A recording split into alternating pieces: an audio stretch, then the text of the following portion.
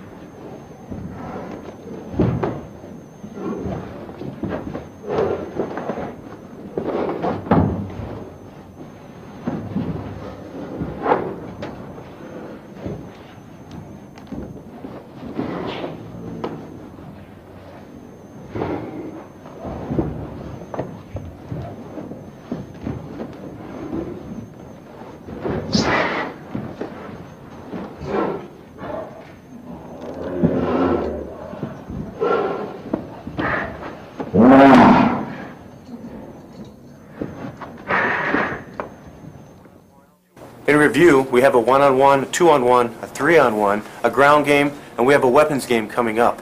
Just keep in mind what Bruce Lee said for rule number four. Be like water and be able to adapt.